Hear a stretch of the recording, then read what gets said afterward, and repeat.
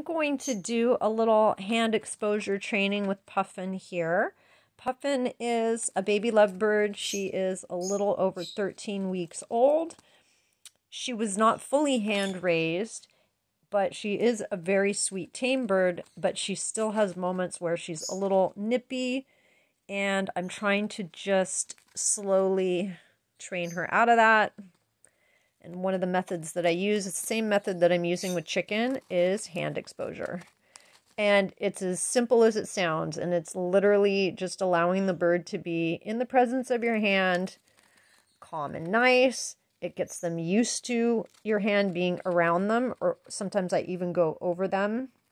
This is good to get used to the bird being handled this way or grabbed, especially if, say, you need to do a wing trim or they need to be seen by a veterinarian, you want the bird to be able to be handled and held or restrained without freaking out. So I highly recommend this. And I just will, when I see the bird out or hanging out, I'll just do these. It's kind of just something that I'll do.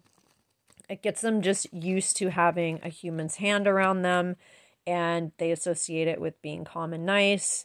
And sometimes I also especially with birds that are fearful of touch. I try to just desensitize them.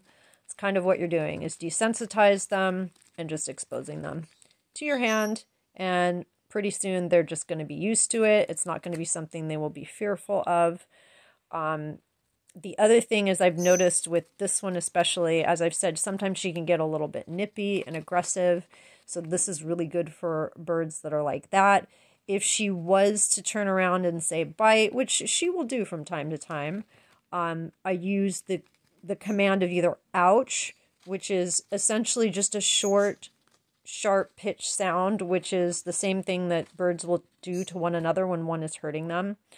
And so I just it can either be ouch, it could be stop, it could just be a high pitched sound, and it's sort of a redirect too. It kind of snaps them out of whatever they're doing, and I find that it works really, really well. So that's just a short video on hand exposure, and like I said, it's as simple as it sounds, but if you do it every day, it really gets the bird used to your hand, desensitizes them to it, and also they realize your hand is their friend.